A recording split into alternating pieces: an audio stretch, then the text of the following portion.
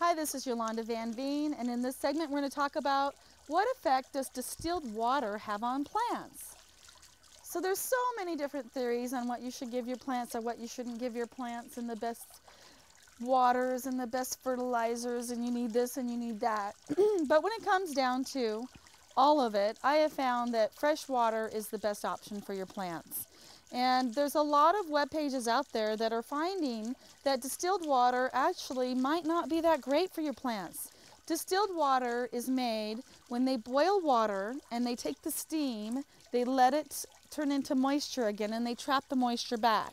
So what happens is that distilled water has absolutely no chemicals in it, it has no chlorine in it, it has no minerals in it. So for a lot of plants, a lot of people say it's great because you don't get salt buildup and you don't get mineral buildup on your plants and they do really well because of the distilled water.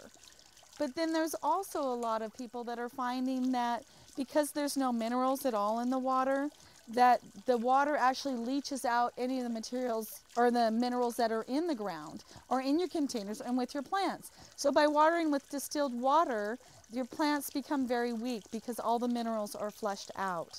So I equated the same thing for me. If I had a choice between good fresh water, chlorinated water, well water, sugar water, aspirin water, or chlorinated water, or any water with additives, true, I would like the water that's probably distilled water seems great because there's no chemicals in it, but they're finding for humans it's not that great because what happens if you drink distilled water, which is in pop, your body not only does not get any minerals from that water, it leaches out the minerals in your body.